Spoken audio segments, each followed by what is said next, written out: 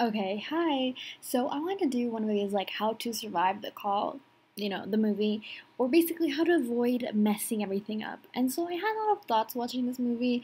I enjoyed this movie, but basically there were two instances that just could have avoided the whole entire thing from just so by the way, I'm probably gonna mispronounce their names, and I want to apologize beforehand because I don't speak the language, so it's um, it's gonna be a very butchered names. So Soo Young, honestly, she was a peach. She was amazing, and the thing is, all she had to do when she found out this whole connection with the past and future and this pathway through the phone, all she had to do was look up Young Suk online.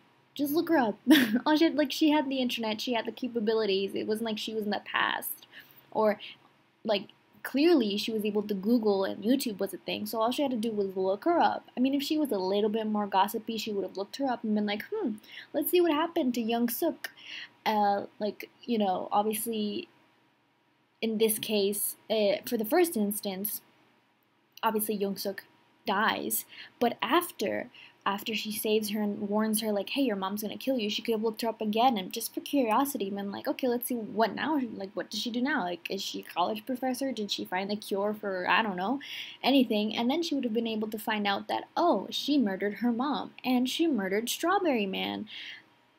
And then by knowing that by having this information she could have one she could have just not confronted Young Suk just completely pretend play dumb because it was so unnecessary to confront her. Like, what are you confronting? Like, oh my god, you killed someone. What, what, what is that gonna make her not kill anymore?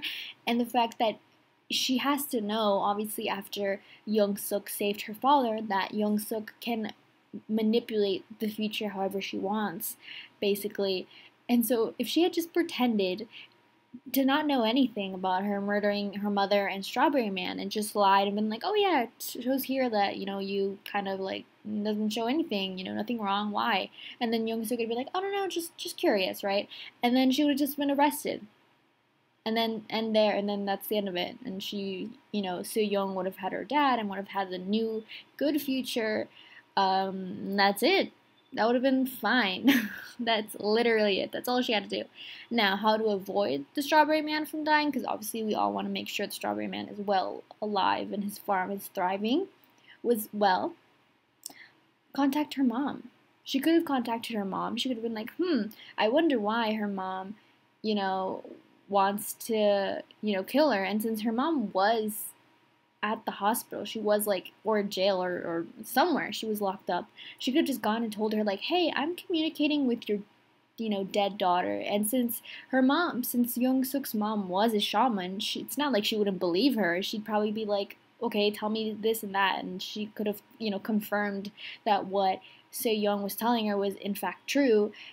And the thing is, you can tell that Young Suk's mom like uh, yes she's not the greatest mom but you can see even when she's to kill her own daughter that she's hesitating like she does not want to do it but she also sees that her daughter is going to turn into a freaking psycho.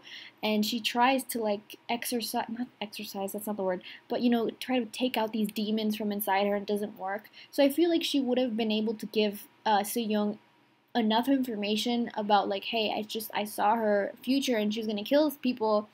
And so Young would have been like, you know what, you know, uh, yeah, sure, let's. I trust it, you know, and then they would have been prevented even more deaths, you know, the death of her mom, her father, obviously of Strawberry Man, the you know perfect Strawberry Man.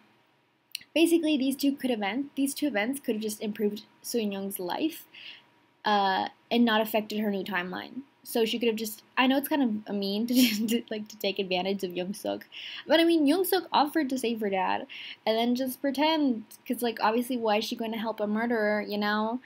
And then Young Suk would have either, you know, died or would have been in jail, and Soo Young would just be living her best life, and just completely, you know, ignore the rest but uh, fortunately, that did not happen. But it could have happened just with those two little things. So, you know, if you ever find yourself in those situations, just know always play dumb. Always do not reveal your cards. Do not, no, no, no, just play dumb.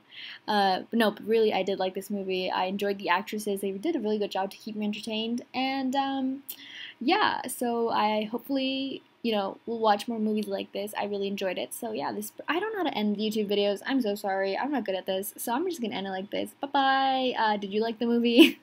what would you change? Uh, is these typical questions that YouTubers ask? I don't know. Am I a YouTuber? Uh. Anyways, bye. Have a good uh, New Year. Even though it's like January 18th or something, but you know, it's still it's still enough time to wish people a good New Year.